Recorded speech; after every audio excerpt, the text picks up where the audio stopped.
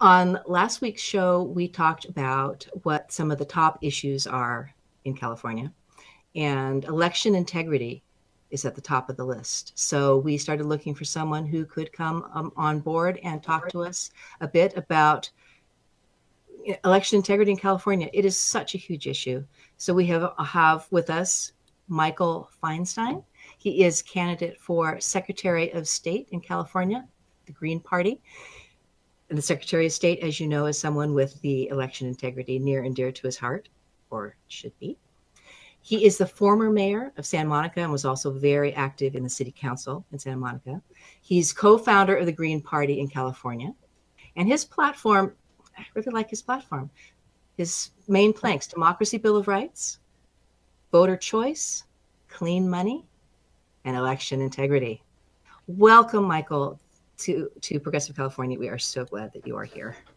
Thank you so much, and thank you for that beautiful introduction. Oh, you're welcome. I hope I got it all right, and, and if I didn't, I'm really sorry. Very um, kind. before we jump into the nitty gritty, I'm hoping maybe you can take a few moments and just tell us what what's the role of the Secretary of State of California? What would your roles and, and responsibilities be if you're elected? Yeah, so the Secretary of State is the chief elections official for all of California. She or he is responsible for running all the state elections and also for giving guidance to the counties, as well as recommending changes in state law that facilitate the election process to the state legislature.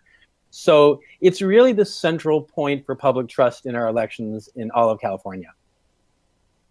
Perfect. That that is uh, a lot of times we are talking to congressional and senate candidates, and we don't get the special you know, secret sauce that goes into what you would do as Secretary of State. Um, we talked a little bit last week when you and I first met about some uh, legislative measures that are happening in California that deal with uh, financing, uh, updating voter um, voter moder- voting modernization. And there was a bill, an Assembly Bill 668, Voting Modernization Bond Act of 2018, that addressed this. But I understand that that has changed a little bit. So maybe you can just fill us in on what the current status is of uh, voting modernization in California and what some of the options are in front of people. Sure. If, if we want to have elections that we can trust, we want to have machines we can trust, voting machines, voting software, right, and right. ones that are up to date. And mm-hmm. California counties have some of the oldest voting equipment in the United States. So since 2000, when we had the fiasco in Florida, there was a federal Help America Vote Act that said that counties and states need to improve their equipment. We're still at a point where we haven't done that. So we're underfunded on the county level. We're looking at a state level of what to fund and how to fund it. And the question becomes, what are we incentivizing with these dollars if we're going to mm-hmm. move into the, the, the, next era of voting equipment? And mm-hmm. a, a, lot of the emphasis in the state legislature now is to fund counties who take advantage of a new law which would eliminate precinct voting and have more regional voting centers throughout right. the county, and right. also to combine that with going to vote by mail. And instead of doing that, which arguably in some ways may make it easier uh, to vote, although I have other uh, arguments on how to make it easier to vote. Instead of that, we should really be focusing on how to have the most confidence that our vote is being right. counted. And right. our California Constitution says that's the case.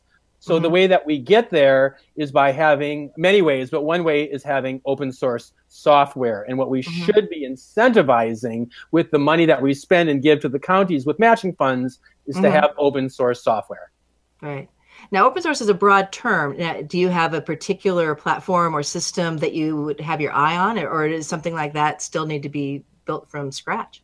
Sure. So, so open source means that everybody can actually see the code. That mm-hmm. it isn't something that's privately owned and proprietary. So that you say, well, we have to uh, see how the votes were counted in the last election, and then it's a black box and we can't look inside and see how it's done. And that's right. happened in a lot of places. Uh, Ohio in 2004 was famous for that. So open source is the concept that it's all available for everybody to see. Now, you mm-hmm. said, are there different kinds? The best kind, we're familiar with copyrights for mm-hmm. private property. Mm-hmm. Well, with open source, what you want is copy left.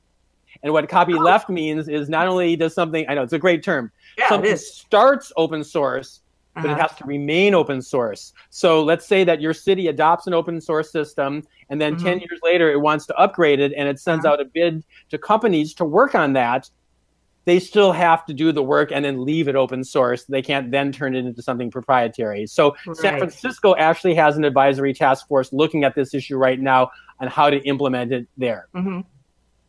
Well, that it's always been a big debate, especially in our chat, and I know people will be mentioning it. The idea of do we go back to countable paper ballots, or do we go to bank grade security, open source? Which I go to the RSA conference every year in San Francisco, the biggest you know, cybersecurity conference, and their method of checking in thousands of people inst- almost instantly with top grade security is unparalleled. So I have no doubt that the technology is there. It just seems to me that those that are in charge of our voting systems right now aren't as keen to have voting be easier and more reliable. Is is that a, a jaded perception, or would you? Agree? Well, um, I, I, do want to touch on that, but before we get to that, you mentioned paper ballots, and yes.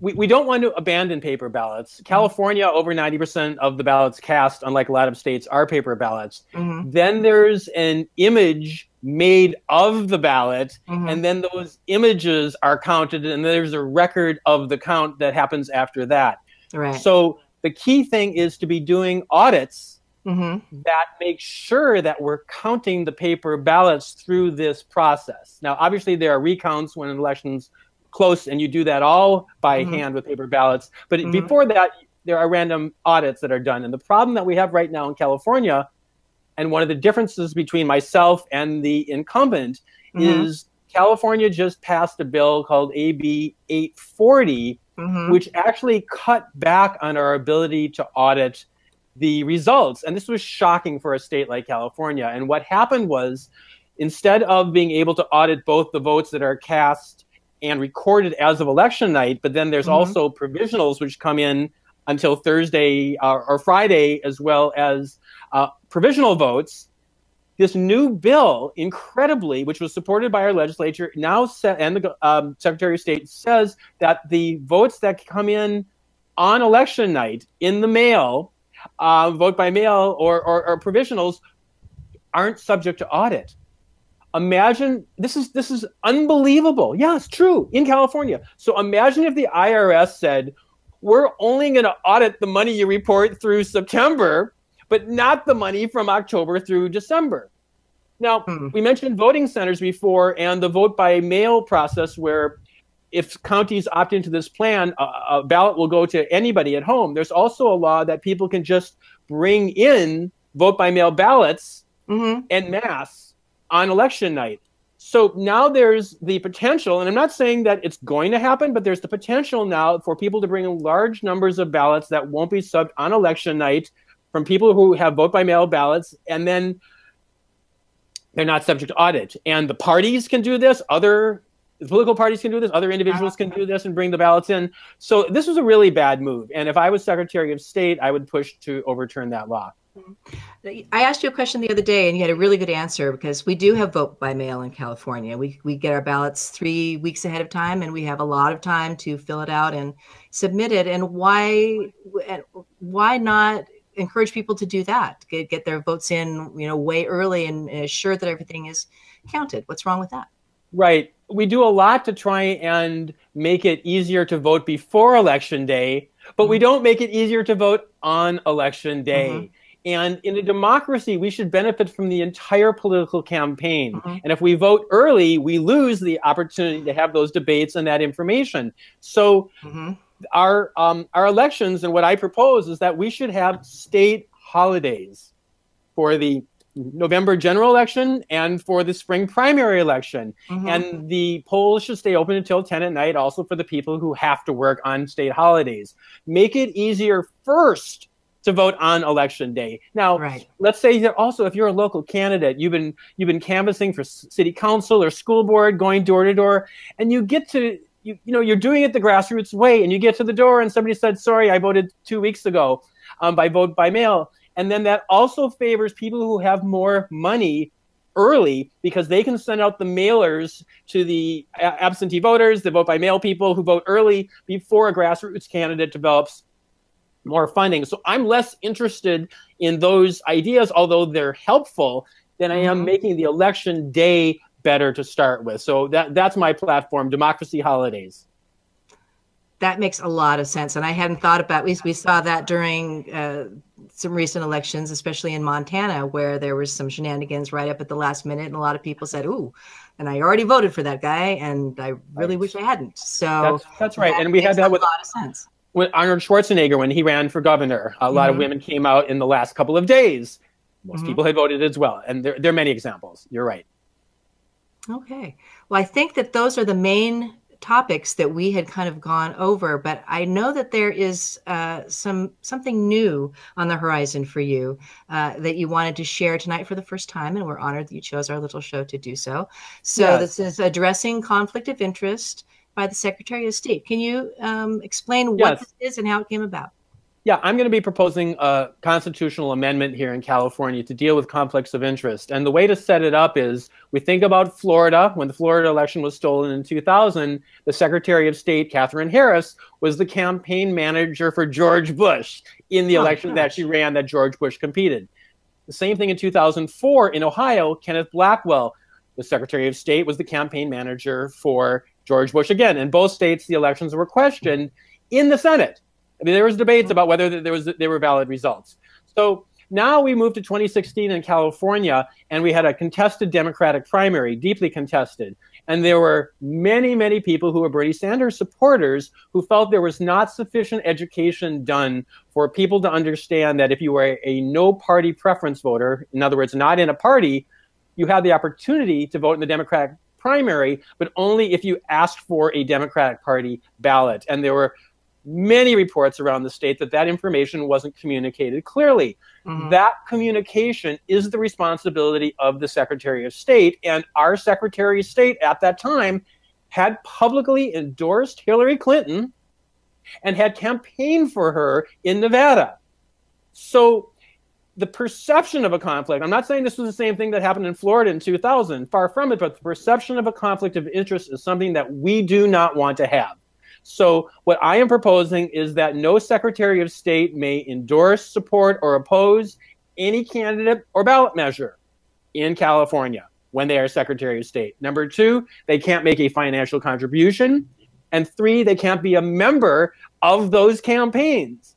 It just seems to me this is a baseline, a yeah. baseline of a lack of conflict of interest. Because conflict of interest is not only financial, it's also political. So this is a constitutional amendment that you are that you are Yes. So, and, and, and, how, and, and, how and where what, what stage of that are you and how are you doing that? Well, I'm now that I've announced it on your program, and, yeah. and thank you for the opportunity, I am going to be sending it to the uh, state assembly and state senate elections committees mm-hmm. and ask some of their members to sponsor it mm-hmm. and get it on the ballot. And I would hope that our Secretary of State would support it. Now, the irony was that I was going to come out publicly and pledge, and I will pledge right now, that I will not endorse in any race over which I would have any jurisdiction here. Frankly, I'm not going to endorse in any race in California in 2018. And I was going to ask that all other candidates in the race would take that same pledge, including our existing Secretary of State he has already endorsed as of November in the governor's race. I couldn't believe it. Before I could even get out and ask for this pledge, mm-hmm. um, and, and, I just don't think that's okay. And I don't think most voters support that either. No, I would think not. What can people do if they want to support you in this? I mean, so, they... so the the state senate uh, elections committee, the uh, state assembly elections committee, you can go to the internet. Uh, you can just put it in your browser and look them up. They have a mm-hmm. staff member for each of them. Mm-hmm. You write to the staff member and say, I think that your committee should take up this issue. And on my campaign site, mm-hmm. feinstein4sos.org slash issues, there's a link there to the specific text that I'm recommending. I'm going to be emailing it myself to those committees. So anybody who wants to go to my campaign site could find that link and then communicate to the state legislature. And let's get this dialogue going. Yeah, that link and all the other ones that we mentioned today are in the description of the video. So everybody, oh, you, you've you've got it there already. So click there. Great, great. So thank you. This has been. I I feel I, I feel so educated. well, and and we should be more educated about how our elections are run. We should. and you know, you speak about education. We own the California channel. It's our version of C-SPAN in the state. We mm-hmm. should be using that and giving free TV time for all candidates who qualify for the ballot and Absolutely. bring the information into people's homes instead of only the people who can pay to play. Exactly. Exactly. Well, thank you so much. Does anybody have any? Uh, uh, and I'm sorry, I didn't introduce Joseph at the beginning. Joseph Sakata, news editor, fabulous co-host. Um, do you have any questions uh, in chat that have, that have come uh, There aren't any questions in the chat, but Bill Grab Bill Gabriel did say this is the most enthusiastic candidate for any Secretary of State oh. anywhere that I've ever seen. Thank you so much. We bring that out in them. I mean, look, I was I was a mayor in my city, and I and I just saw how important it was to listen to the average resident and hear what they had to say. It's a privilege to be in government, and you have to honor that. And therefore, mm-hmm. I'm excited about having more democracy for California. Well, so are we, and that's why we are here. I just want to thank you again for coming on and sharing your expertise and just letting us know kind of what what the state of this is because a lot of us were very heartbroken at what happened during the primaries. I know for one, I dropped off my ballot, was driving up to the Bernie Sanders rally in San Francisco when I heard that the race had already been called, and I said, "That how could that be? They have not counted my vote yet." Right, so right. that that that there is just shenanigans, and I, we really deserve uh, to have our votes counted, especially when we're working so hard to understand for whom to cast them. So thank you again. We hope that you'll come back um, later on in the in the race, or maybe we'll get you on We the People and have a little bit of a longer conversation. That would be fantastic. Thank you so much.